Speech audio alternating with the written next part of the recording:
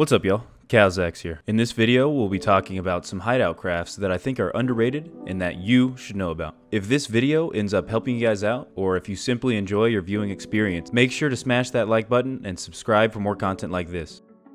Alright, so I'm in the hideout now. I'm to go ahead and start explaining some crafting recipes you'll be able to make. The first craft takes 90 of the M855 bullets, takes one of the red gunpowder hawk, and it turns into 180 of the M856A1 bullets. Uh, this is available at Workbench Level 2. This one is very good in earlier wipe. Right now, I still think you'll make money doing it, but a couple months after wipe, may be prime time for this one. Either way, this is a good trade to make. A solid bullet if you'd like to use it, and worth a good amount if you prefer if you prefer to sell it. Okay, next up we have the M67 hand grenade times two, RDG 2B smoke grenade times one, and this turns into a green gunpowder eagle times one. This is available at workbench level two. So this trade is a good trade in general, but it's gonna be a lot cheaper and realistically make you money if you purchase the hand grenades that come from Peacekeeper loyalty level two after completing Spa Tour Part two. You're gonna get the cheapest M67 grenades this way. If you're not here, don't worry, but I definitely recommend you make Peacekeeper's quest line a priority as you unlock some awesome stuff with him. For more information about his early items that he has available, check out our Pathway for Early Success Peacekeeper edition. So right now, the Green Gunpowder Eagle sells for about 60k on the market, and this is one of those crafts where you can make instant returns on your money as long as you can purchase the grenades from Peacekeeper. You could also use this gunpowder in some of the other recipes if you'd like, and it may be more profitable to do so at later points in a wipe, but at this time I find myself getting the most returns by just selling these gunpowders alone. So next up we have two of the expeditionary fuel tanks, metal cutting scissors, and three bolts and three screw nuts all turning into a magazine case. This is available at lavatory level 2. So for this to be an efficient trade, make sure to use the fuel first in the tank before crafting this. I don't find crafting the fuel tanks in the lavatory to be cheaper than purchasing them the fleece, so I just do that. And then go ahead and toss them in your generator, use them up in the power, take out the empty ones and turn them into this magazine case. These magazine cases are quite useful,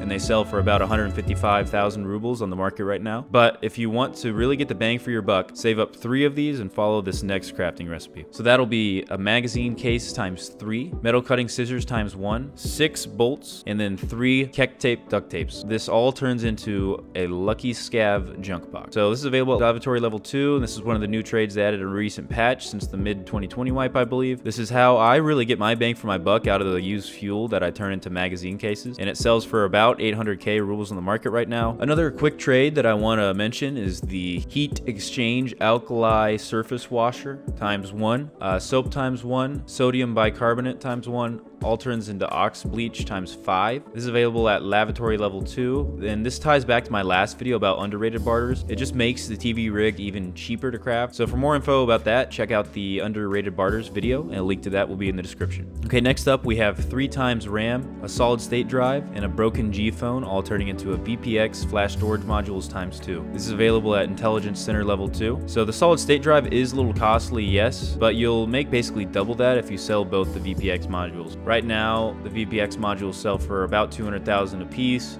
and that's about the same as the solid state drive itself. So all in all, you'd make 200,000-ish at the moment. So yeah, you can either sell the two VPX modules, or you can turn them into graphics cards at the same Intelligence Center Level 2.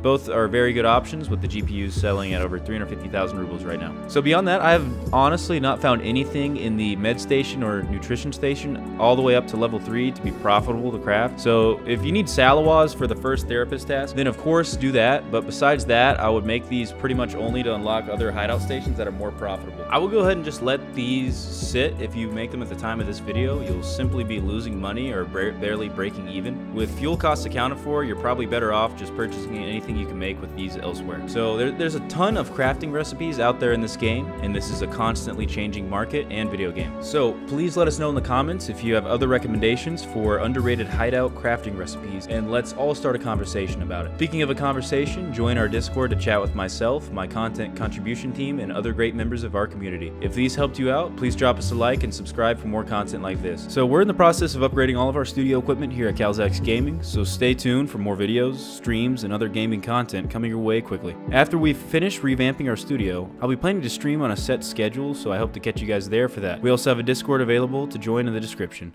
Thanks for watching, y'all, and catch you on the next one.